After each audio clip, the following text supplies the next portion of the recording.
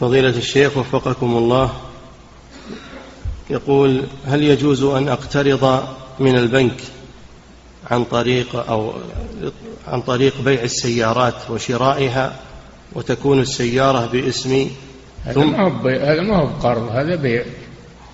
هذا يسمى التورق مسألة التورق.